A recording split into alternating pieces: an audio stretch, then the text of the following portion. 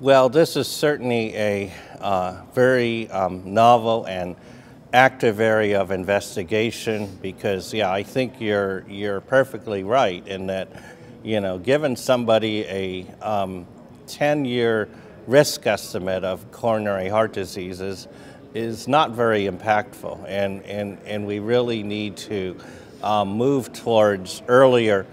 risk prediction and um, certainly the, um, the, use of machine learning techniques can um, better help refine and, and, and I think sort out the different types of risk factors and, and,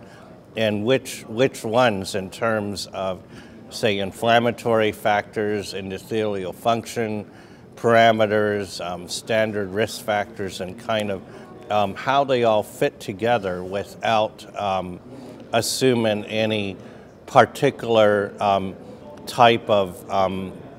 model fit like our traditional algorithms tend, tend, tend to do. And, and um, certainly uh, work from SHAPE investigators as well as from MESA investigators, um, you know, involving machine learning um, uh, for, for the prediction of future events um, um, um have already been looked at and some, some papers have um, recently been published. In fact, uh, very recently from, I, I, I, believe in